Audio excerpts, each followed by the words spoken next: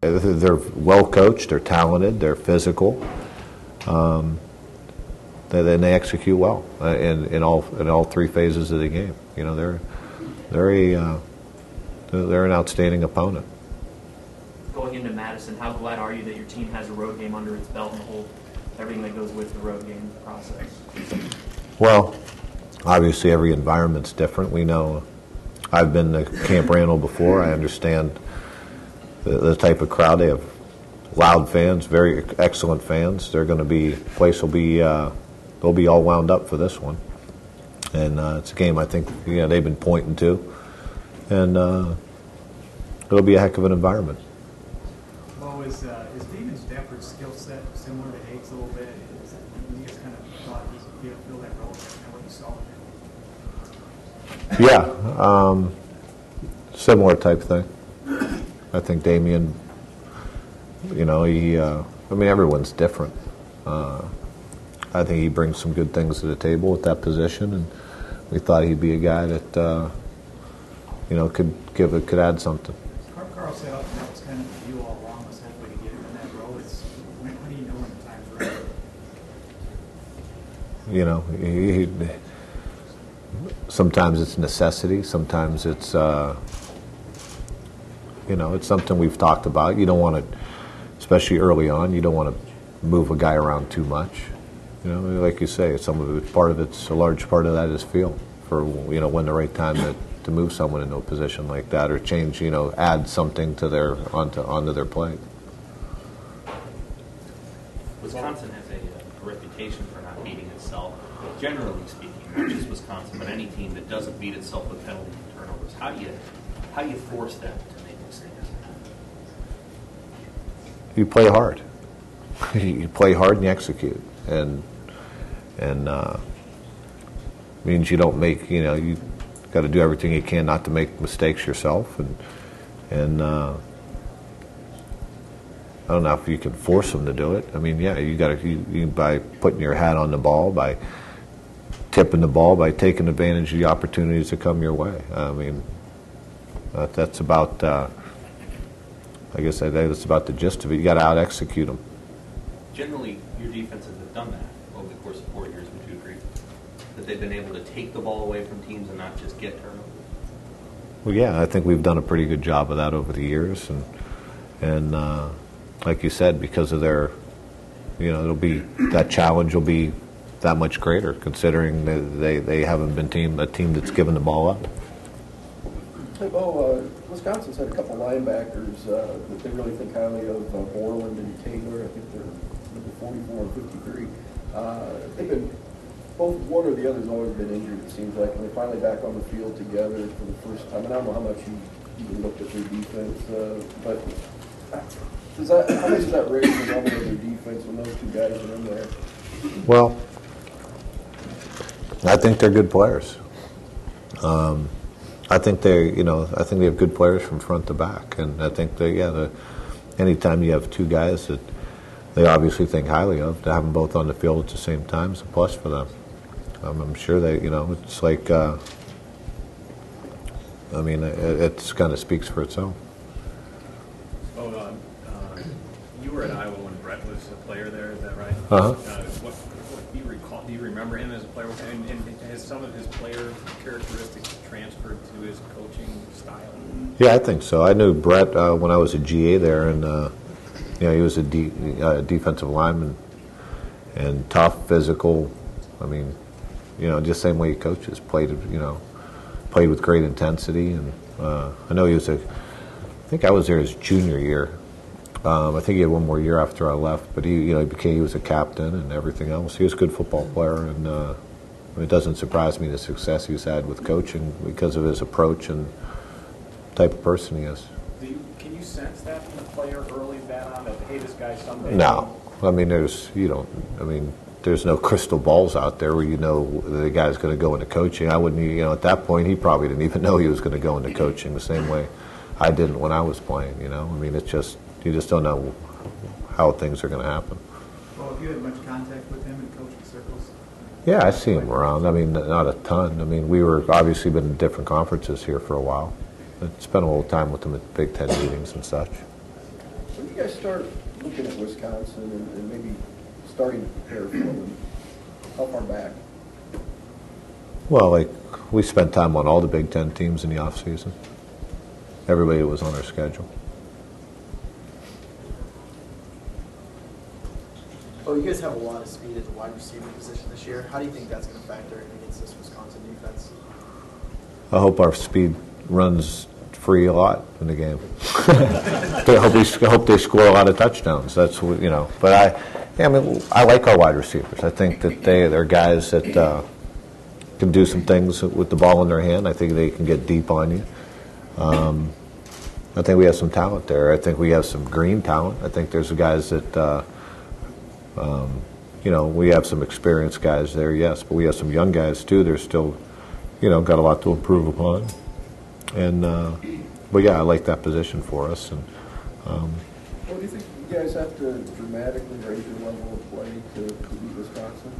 I think we need to play better than we have than we did last week.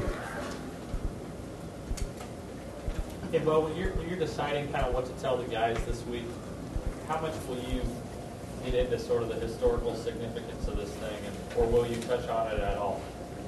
None. It's the next game for us. I mean, it's just part of the process for us and, and what we're trying to accomplish as a team. Historically, that doesn't really affect our guys. I mean, they- obviously they're going to hear it because you guys are going to write about it. That's all. You know, everyone's going to talk about it. And, but that, you know, that that that means nothing to to what you actually have to accomplish on the football field, the historical aspect of it. Seems like you guys aren't really dipping your toe into the water though as you go into the Big Ten. Uh, you know, getting Wisconsin right out of the gate. Can you, I guess, maybe address just the, the fact that maybe you're, you're playing the best team in the, in the Big Ten? To, to, They're the defending Big Ten champions, Yeah. so obviously, I mean, I, I guess I'm not. I don't understand the question. well, just the fact that you're not starting with somebody else. You're starting right out the gate with kind of the big dog. What about it?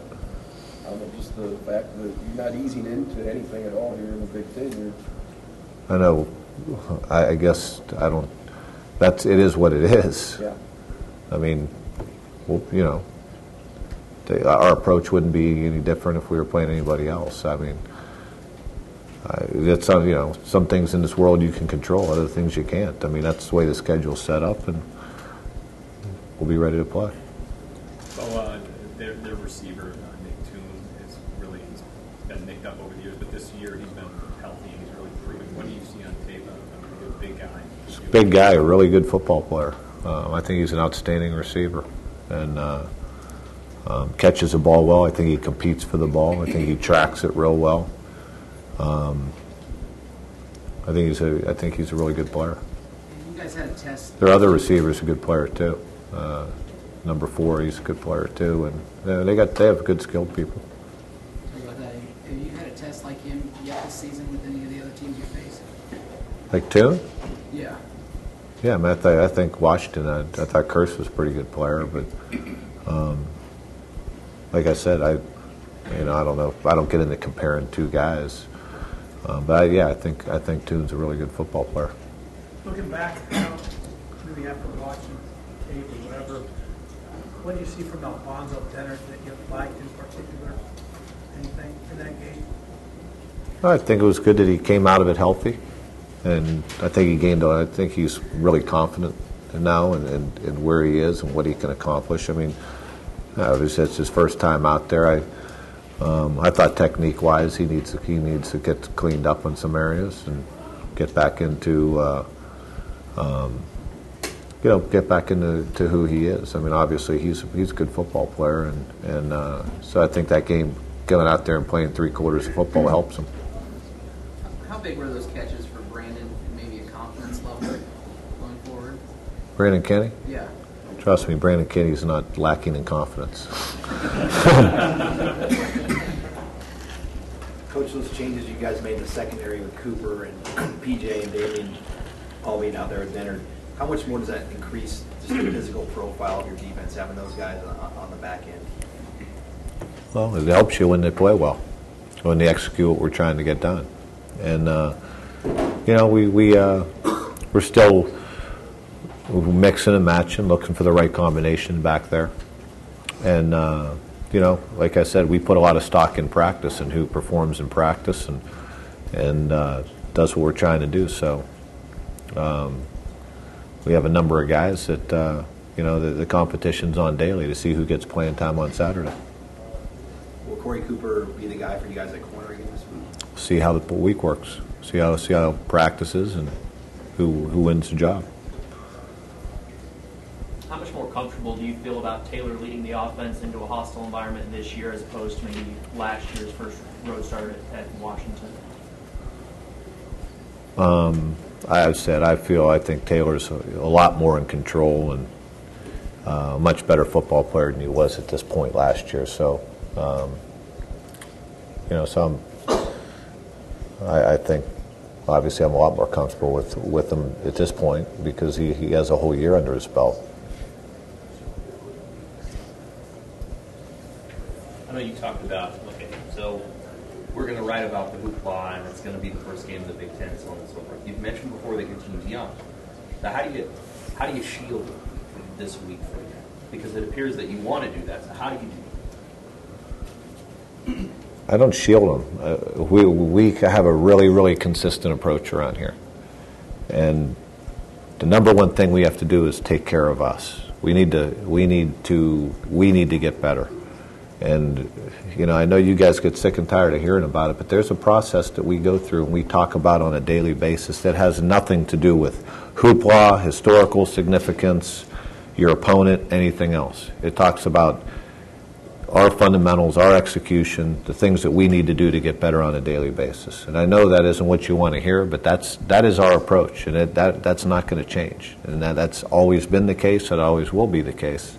And uh, I think that does uh, everything that allows us to do everything we can to keep our guys on track and focused on on what we can control. There's a lot of things outside of this, uh, outside of our locker room, outside of our building, and off the field that we can't control. What we can control is us, and uh, and it, you do that, and you work hard at it. You try to get better each and every day, and let the chips fall where they may on game day. Over the course of four years, has there been game where you thought you, you, you did that just perfectly? I mean, it's never perfect, perfect, but you, can you think of a game where you guys dialed in just the way you wanted it to? No, because there's never been a perfect game. I've never coached a perfect game. No one's ever played a perfect game, but uh, some we do better than others, and um, I hope we play well Saturday night. That's that's the goal right now. And uh, what I'm concerned with most is our guys understanding what the game plan is today and having a good practice today, and and uh, starting the week off the right way.